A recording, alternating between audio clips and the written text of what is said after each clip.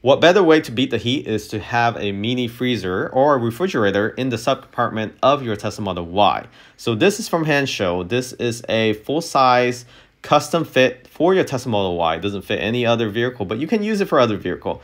This contours with all the curves in your subcompartment and right now we have nothing Bundt cake in this refrigerator. So right now it's acting as a refrigerator, but you can convert it and change the temperature to freezer and have ice cold or even put cold beers, drinks in there for when you have a tailgate party during a camp out. And you can take this along anywhere you want. You can turn it on, off, so it doesn't really waste any energy if you don't want to use it. And it uses very low energy, so it doesn't really waste that much energy when you have it on. You can control it from your app when you turn on and off the Sentry mode, or use Bluetooth and connect it and control the temperature while you're nearby the vehicle. How cool is that? Check out link in the description of this video. Catch y'all next time.